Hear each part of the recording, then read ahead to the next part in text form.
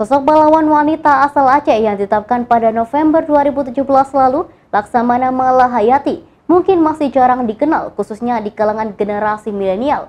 Hal tersebutlah yang membuat artis sekaligus produser film asal ibu kota Marcella Zalianti mengangkat Lahayati dalam sebuah komik.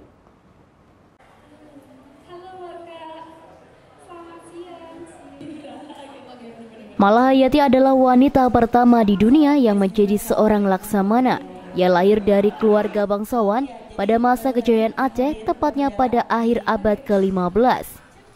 Malahayati secara resmi ditetapkan sebagai pahlawan nasional pada hari Kamis 9 November 2017 lalu oleh Presiden Joko Widodo.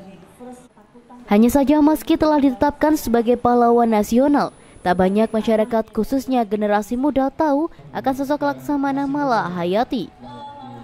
Hal tersebutlah yang mendorong artis sekaligus produser film asal ibu kota Masila Zalianti mengangkat biografi dan sejarah perjuangan Mala Hayati dalam sebuah komik.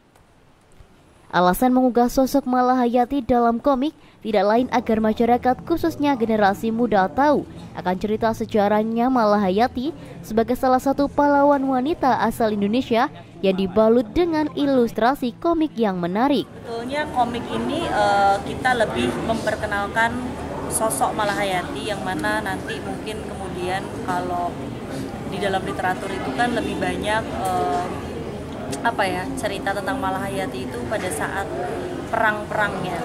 Nah di sini kita juga membangun cerita bagaimana nanti e, masyarakat itu juga bisa punya rasa kedekatan psikologis khususnya anak-anak muda. Makanya ini dimulai komik ini dari dia masih kecil sampai dia sekolah di Baitul Maqdis gitu. Jadi e, mudah-mudahan karakter ini juga bisa menjadi inspirasi buat generasi muda karena ini kan memang tujuannya adanya komik tentang pahlawan itu bagaimana generasi muda kita khususnya generasi milenial itu mengenal sejarahnya mengenal pahlawannya dan kita ini memperkaya uh, distribusi pembelajaran sejarah sebetulnya. Saya karena melihat distribusi pembelajaran sejarah itu masih kurang kita butuh konten kita butuh medium yang kreatif yang membuat anak-anak muda, anak-anak kecil itu senang bacanya. Jadi mereka excited bukan seperti sebuah keharusan mereka belajar, tapi mereka excited, mereka ingin lihat dan yang mereka ingin tahu ini dengan gambar-gambar yang tentunya ini ada Mas Ardian di sini yang juga menggambar komik Malahayati dengan sedemikian rupa menariknya supaya mereka uh, punya keinginan untuk tahu lebih tentang sejarah Nusantara. Diharapkan dengan hadirnya komik ini masyarakat bisa jauh lebih mengenal sosok Malahayati sebagai salah satu pelaku sejarah di Indonesia.